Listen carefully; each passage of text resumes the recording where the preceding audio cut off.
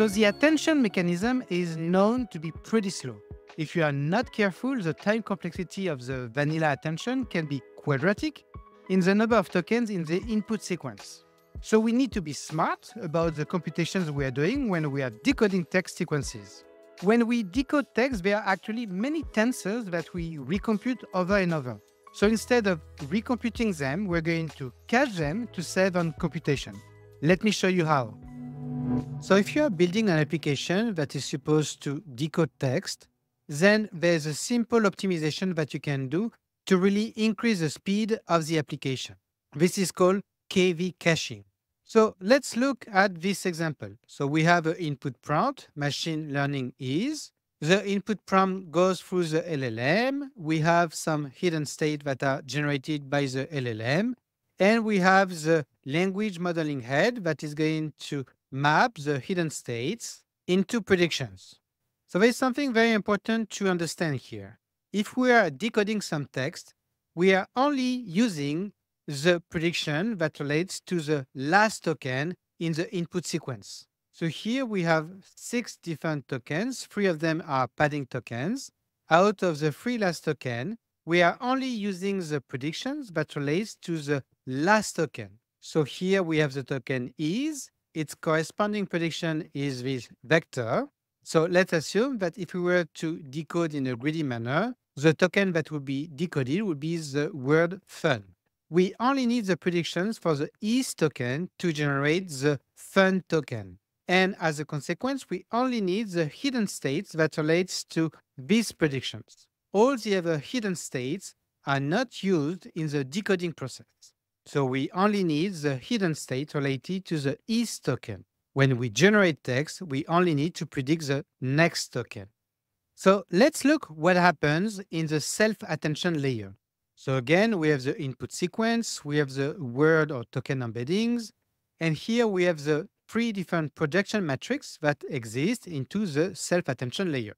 When we input the input sequence into the word token embedding, in the end, what we need from the projection matrix is a query vector for the word is. We need all the keys that relates to all the tokens in the input sequence and we need all the values that relate to all the tokens in the input sequence. But for the query, to generate the next token, you only need the query vector that relates to the last token. So we build an interaction vector between the query of the word is and the keys of the other tokens. We pass this interaction vector through a softmax transformation, and we get the self-attentions for the word is. Now we use these self-attentions to build a weighted average of the values of all the input tokens to get the hidden states for the token is.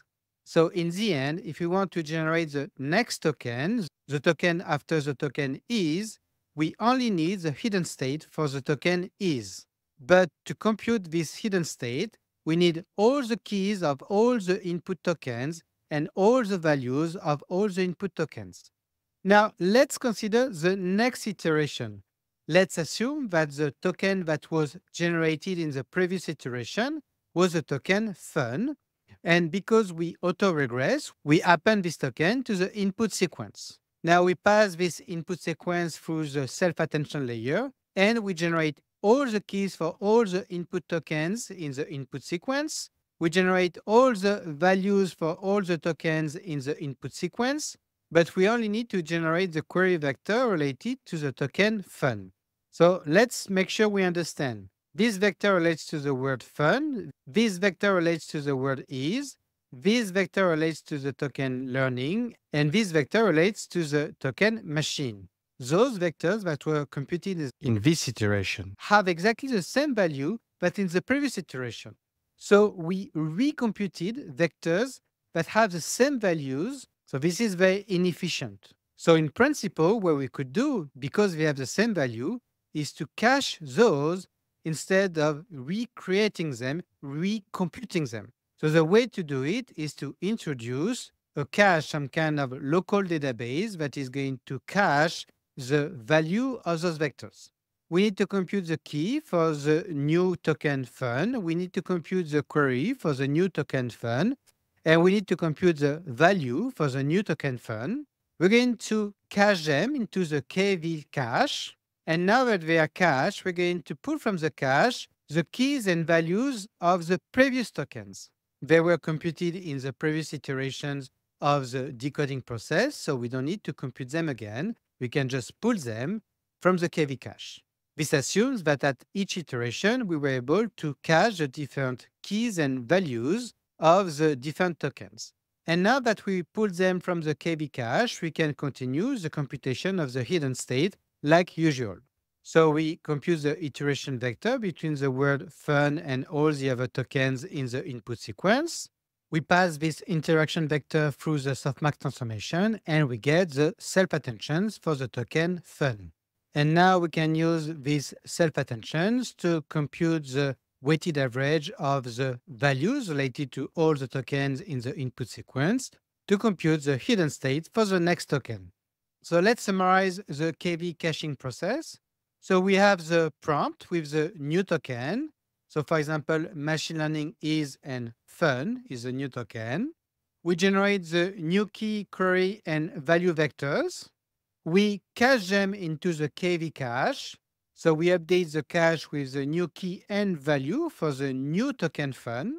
Then we load the previous keys and values from the KV cache. They are cached in the KV cache. And by using the new vectors and the cached keys and values, we can compute the new hidden states and compute the predictions for the next token. So by caching the keys and values, we save a lot of computation and the decoding process becomes much faster. So we typically have two phases in the KV caching process. We have the generation phase where we are computing the keys, values, and queries for the initial prompt that is sent to the LLM. In the generating phase, we can populate the KV cache. And we have then the decoding phase where we can utilize what is within the KV cache to continue the decoding process. We save a lot of time with this trick. That is the reason that when we use Claude or ChatGPT, the first token takes much longer to be generated than the following tokens. KV caching is great, but it takes a lot of memory though. So KV caching is a huge improvement when it comes to the decoding process, but there are some inefficiencies in the common implementation of this KV caching. So typically there are a lot of overhead in allocating dynamically the cache. So the way it is done is that the memory for the cache is pre-allocated to the maximum output size for the decoded sequence which means that when we have an input sequence, machine learning is, we pre-allocate the memory regardless of the actual size that will be decoded. And then we, little by little, populate the KV cache. For example, here we are populating the KV cache with the related keys and values vectors. And as we decode the sequence, we update the cache. So here, this is the tokens that relate to fun. As we decoded this token, we now populate the cache with the related keys and values. And at this point of the decoding process, there's a lot of unused memory that is still pre-allocated and that cannot be used by other processes. So this pre-allocation of the memory for KV caching consumes a lot of memory that makes it difficult to have other parallel processes in the same time. So let's look at an example. Let's look at Llama 3 with 70 billion parameters. So the hidden size is 8192. The number of layers is 80, and the maximum number of output tokens is 4096. So let's look at this computation that computes the memory that we need for one token. We need two because for each token we have a key and a value.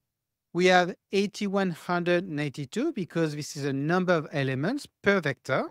And we have to do that in each attention layer and we have 80 attention layers. And each element consumes 16 bits or 2 bytes. If they are stored in float 16, it's 16 bits or 2 bytes. And this amount to 2.62 megabytes per token to be allocated in the KV cache. This is the amount of memory per token. Because the strategy has been to pre-allocate the memory for all the tokens that can be decoded in the output sequence, we need to multiply this 2.62 megabyte by 4086, and this amount to 10.73 gigabytes of memory that we need to pre-allocate when we are decoding a sequence with Llama 3. That's a lot of memory just to pre-allocate for a decoding process. KV caching can be a limiting factor when it comes to scalability, so it can be important to find improvement to free the memory. And this is what the page attention is doing. So one typical improvement of a KV caching is what we call the page attention. So there's a lot of overhead to dynamically allocate memory for KV caching, but we can actually optimize this by pre-allocating in chunk the memory for the KV caching. So instead of allocating the memory that we would need for the whole maximum size output sequence, we allocate it in chunks, so somewhat dynamically, and we don't allocate more than what we actually need. So let's assume here that we pre-allocated a chunk of memory. So it's much smaller than what we did in the typical KV caching. We have a small chunk of memory that is pre-allocated. We can populate the cache that corresponds to the input sequence. And as we decode the output sequence, we populate the cache and we pre-allocate new chunks of memory as we need. This is good because it is possible that the generated output sequence will be short and we may not need to allocate as much memory as the maximum output size. So here we reallocate a new chunk of memory and we're going to consume it as we need. And we may not need to allocate additional chunks of memory. So this allows a better utilization of the memory and this allows concurrent processes. For example, when you decode sequences in batch, you will need to allocate KV caches for each of the sequences you are decoding. So if you have a lot of pre-allocated memory, you're not going to be able to decode a lot of sequences. So this is a good optimization, and this will allow you to decode more sequences at once.